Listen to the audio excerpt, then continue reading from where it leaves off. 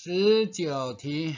啊，伽马哈，伽马是衡量什么什么的东西哈，伽马就是 delta 的变化了哈。那个我直接用我那个课本的图哈，那其他随时间随时间的话就是细打哈，细打哈。那投资组合对那个的变化就是西格玛哈。啊，这题这种题目就常考了，算是很简单的哈。那接下来我们看一下第二十题啊，啊，第二十一题的话跟就跟前面有关哈，前面第九题有没有是十呃一天变十天嘛哈，然后选择是乘上三点一六，那这一边的话是一天变四天哈，一天变四天哈，所以呢是乘上那个两倍哈。所以这个答案哈就是两百万啊，这一题这两题都是非常简单呐。那第二十一题这也是考古题啊，只是题目呈现的那个去陈述方法有点不一样啊。那第二十一题的话就是那个避险尾部调整哈，这个是呃属于风险管理啊，在二二零一九年四月十八日它是放在这个期货选择权啊。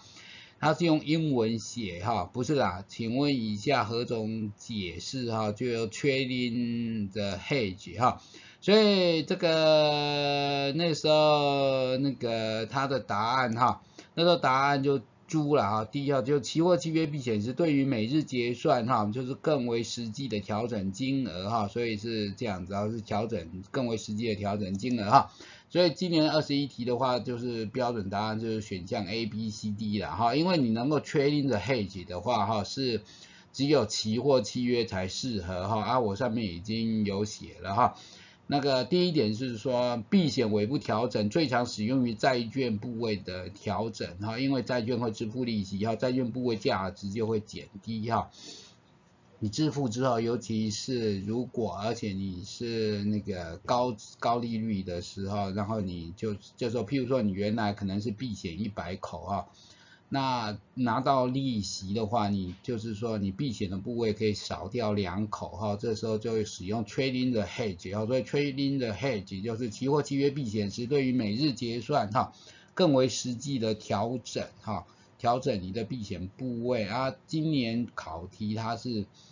诶那个 A、B、C 都是写远期合约哈，啊远期合约不适合做避险调整哈，因为远期合约是科制化合约，而且它没有集中市场哈，可以让你调整你的部位。那接下来看第二十二题哈，啊下列哪一项是真的哈？啊这一题也是比较复杂了啊，不过是考古题了哈。那陈述方法不一样而已哈，它在二零一六年的时候哈，二零一六年第一次第二四题啊，那这边是叫做原来叫做欧洲美元了哈，现在就改成欧元美元哈，那它的报价方法叫做 IMM 报价哈。